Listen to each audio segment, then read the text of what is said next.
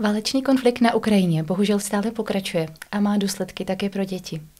Magistrát hlavního města Prahy a organizace UNICEF si uvědomují, že některé děti, které do České republiky přišly se známými nebo s příbuznými, ale bez rodičů, budou potřebovat náhradní péči. Ráda bych zde tedy přivítala paní magistru Janou Klineckou, vedoucí oddělení rodiny a sociální práce magistratu hlavního města Prahy. Dobrý den. Dobrý den. Proč a pro jaké děti hledáme pěstouny? A hledáme pěstouny především pro děti, kteří eh, přišli například z Ukrajiny do České republiky. Často se jedná o děti ve věku 12 až 17 eh, let a bývají v péči jiné dospělé osoby, například nějakého rodinného známého. Pokud se tam mění situace, že ten dospělý o nějž nemůže dále pečovat, tak eh, tyto děti potřebují zprostředkovat náhradní rodinnou péči, najít zkrátka jinou alternativu, kdo by se o ně staral.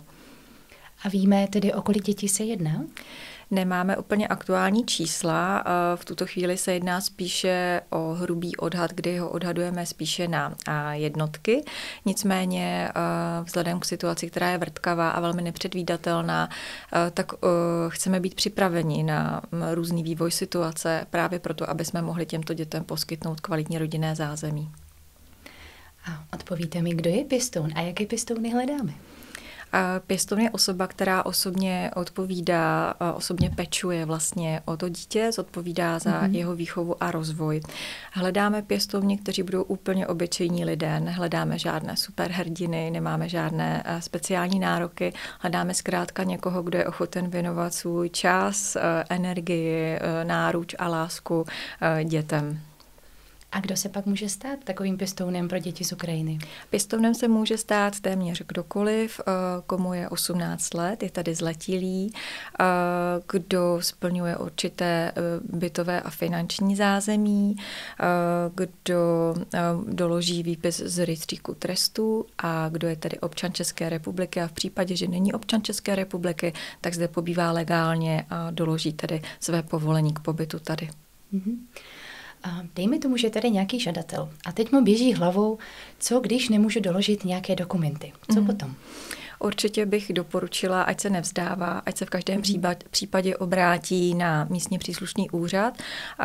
Je to orgán sociálně právní ochrany dětí, někdy se říká také OSPOD a ptá se například e, po člověku, který má na starosti vlastně agendu náhradní rodinné péče.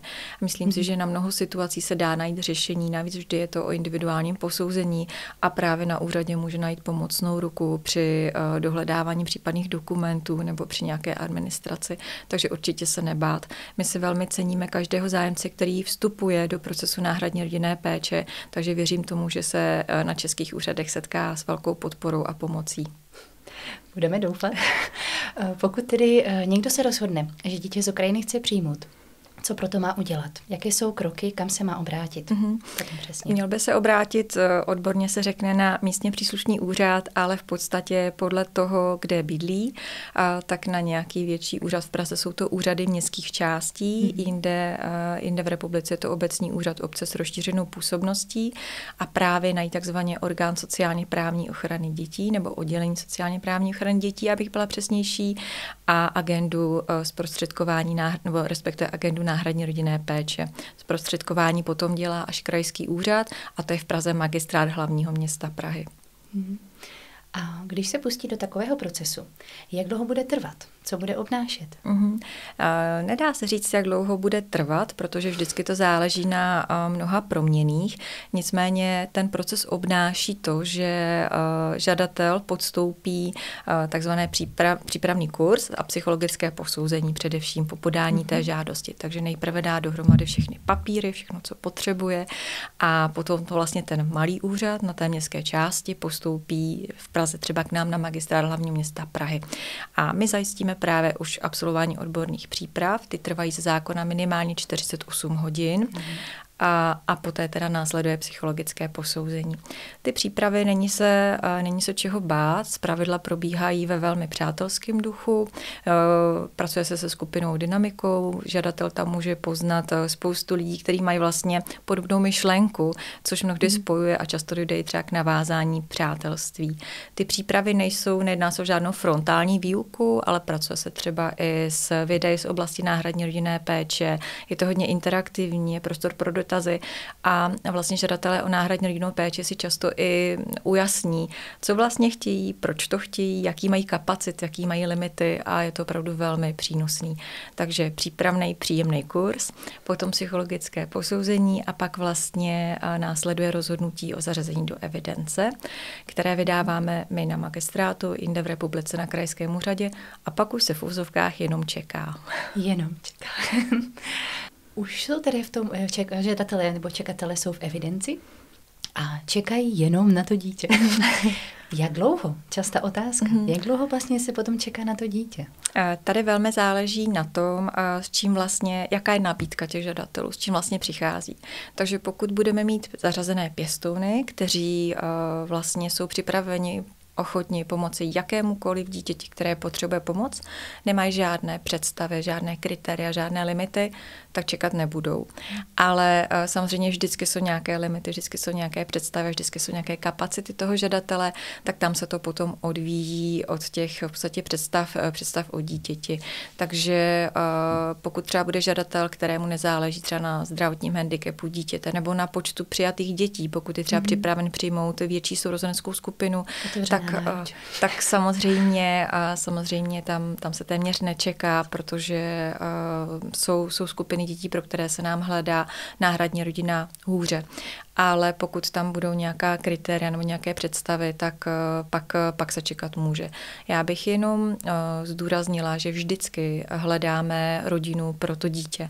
My nehledáme nikdy dítě pro pěstouny, mhm. nehledáme dítě, které by se jim, když to řeknu, hodilo do rodiny nebo bylo pro ty pěstouny, ale naopak, my hledáme tomu dítěti tu rodinu.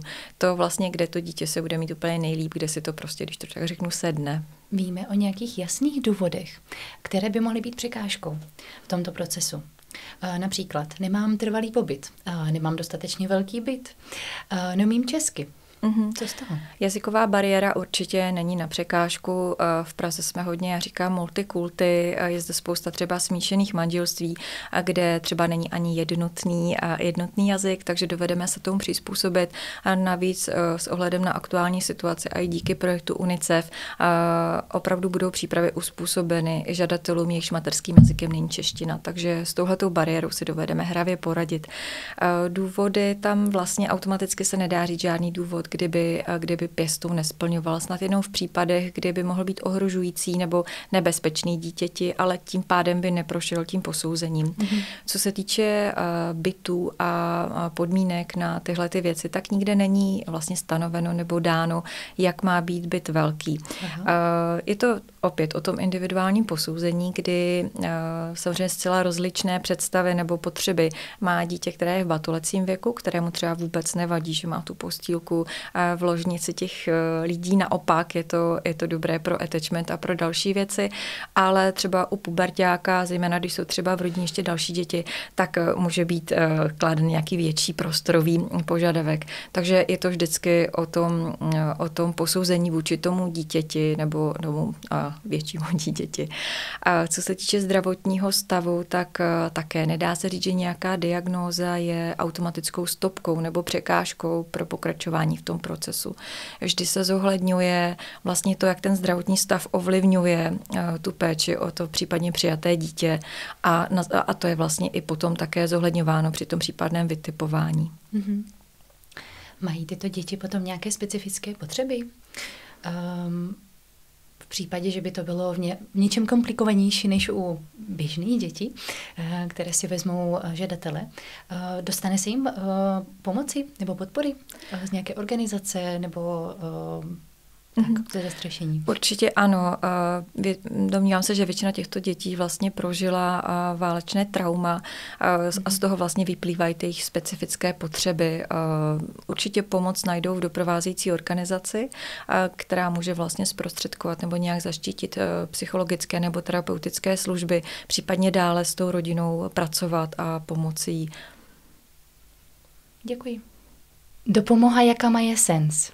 Стабільне середовище, сповнене любові, безпека, тиха гавань, надія найкраще майбутнє. Все це можуть надати дітям названі батьки. Шукаємо прийомних батьків, які б відкрили свої серця та домівки для українських дітей, які опинилися в Чехії внаслідок воєнного конфлікту. Знання української мови та середовища є перевагою оскільки діти часто проходили через важкий досвід і шукають безпеки та розуміння. Подайте заявку вже сьогодні, щоб стати патронатним вихователем для українських дітей. Більше на www.pistowniukraina.cz